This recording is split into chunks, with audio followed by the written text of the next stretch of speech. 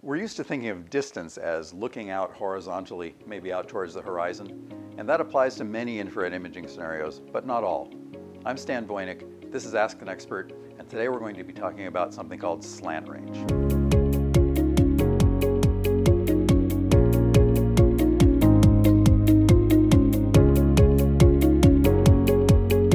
What is slant range? Slant range is simply the distance from a camera to an object being imaged, but it takes into account the possibility of the geometry of the two things being at different altitudes.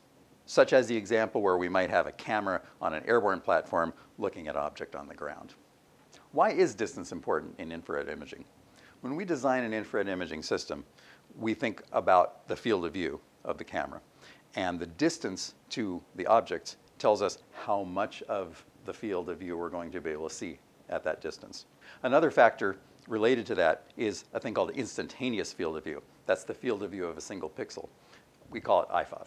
And the IFOV at a given distance tells us how many pixels we will get on a certain object at that distance, and that tells us how well we'll be able to resolve that object at that distance. For more information on field of view and IFOV, see our Ask an Expert on the subject.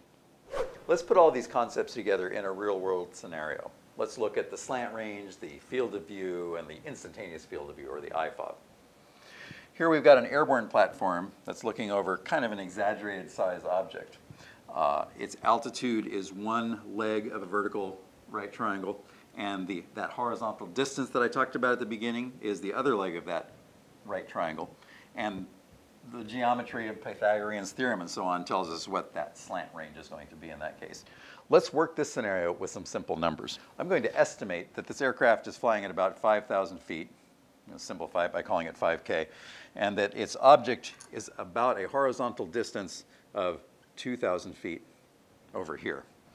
That is a right triangle, and going back to our Pythagorean theorem and our geometry, we'll square a squared plus b squared, and we'll find the slant range c squared. So if we take 5 squared, that's 25. 2 squared is 4. That's 29. And then we have to take the square root of that. And I happen to know that the square root of that is about 5.4. Now remember, we're working in thousands of feet here. So that tells us that our slant range here is about 5,400 feet. That's the distance from our imager to the object. Now you'll notice in this example, the altitude and the slant range are very close to each other. That's because in this example, this aircraft is currently looking at a very high, very steep downward angle. And at those very steep angles, the slant range is going to be dominated by the altitude here.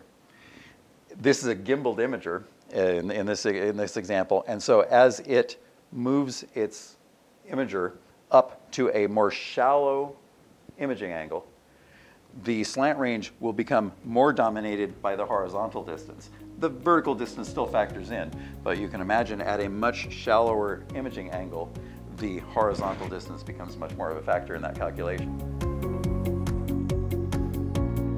In summary, slant range is just the distance from the imager to the object, but it takes into account the geometry of the imager being up at an altitude instead of just looking horizontally across the ground. I'm Stan Voynick, and this has been Ask an Expert. Thanks for watching.